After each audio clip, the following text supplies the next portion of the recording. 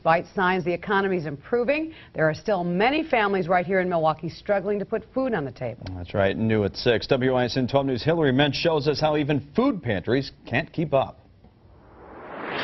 As the Hunger Task Force makes their monthly delivery to the Salvation Army Thursday morning, Major Roger Ross says almost as soon as it comes in, it's gone. We'll help restock some of our shelves, but we're really finding ourselves short of a lot of good stuff that we need to be able to pass out to the families. Major Ross says they give about 1,300 families a meal box each month, but it's certain kinds of foods they could really use some help with.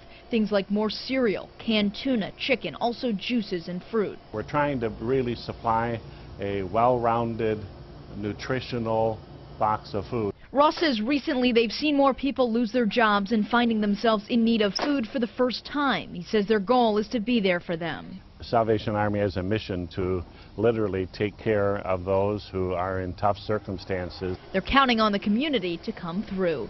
In Milwaukee, Hillary Mintz, WISN 12 News. The Salvation Army also says the need for donations during summer is critical as they plan for back to school in just a couple months. For more information on how to donate, go to WISN.com.